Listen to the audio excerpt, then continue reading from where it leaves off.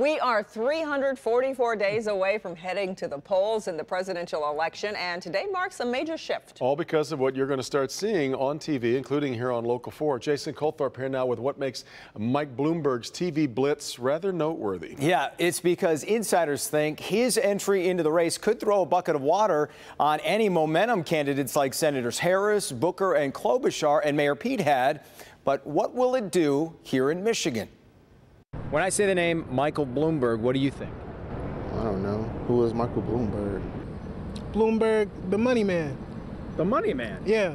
Former mayor of New York City, mm-hmm. rich, knowledgeable, experienced gentleman. And now in the race for president. And now in the race for the president, that's correct. And now he's taking on him.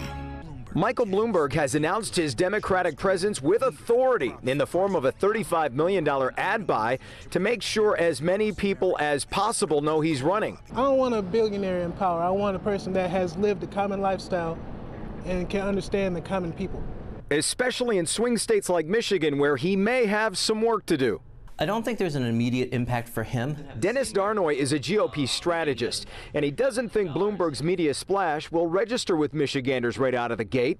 But with our election still three full months away, that could change. I don't think his numbers are all of a sudden going to spike into top tier or even second tier um, qualities, but I think being the election for us March 10th, it will give him some time to see if he's for real. And oddly enough, it could be the impeachment inquiry that helps Bloomberg gain momentum because the six Democratic senators in the field will be tied up with that at the Capitol.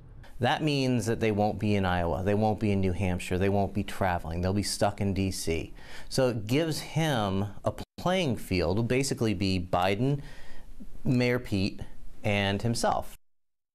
It's really interesting how it could all play out. Another theory, which Darnoi isn't ready to fully subscribe to, is that Bloomberg is just in the race to rail against President Trump. But buying ad time to do that as a candidate is much cheaper than it is if he would do it as a super PAC, so mm, getting yeah. the most bang for his buck.